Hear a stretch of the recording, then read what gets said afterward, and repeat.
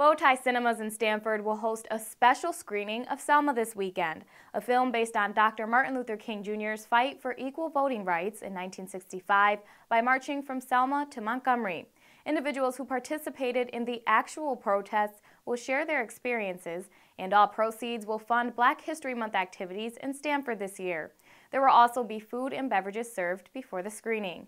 The event will take place this Saturday, January 10th at 10 a.m.